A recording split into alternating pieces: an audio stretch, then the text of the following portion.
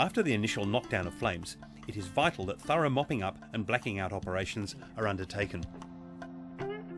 In grass fires, firefighters need to achieve blackout of the burnt ground in order to prevent any relights.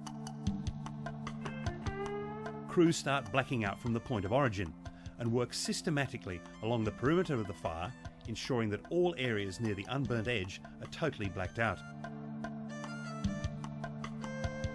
When this is achieved, you start working in from the perimeter. Tree roots, stumps, grass tussocks, and animal dung that are near the edge of the fire need to be dug up or turned over and completely blacked out. Using the back of the hand with caution, feel for hot spots and break up any dense concentrations of hot fuel. Mopping up and blackout operations can only be thoroughly achieved by crews working on the ground. Use rakehoes, axes and shovels in combination with water to assist in this work. In grass fires, where potential relights may occur, a mineral earth control line may be constructed around the fire using heavy machinery. Remember, any relights can undo a lot of good work.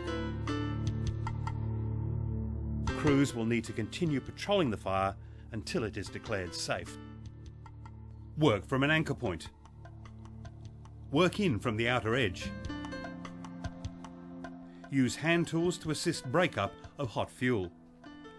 Best results working from the ground. May require mineral earth control line.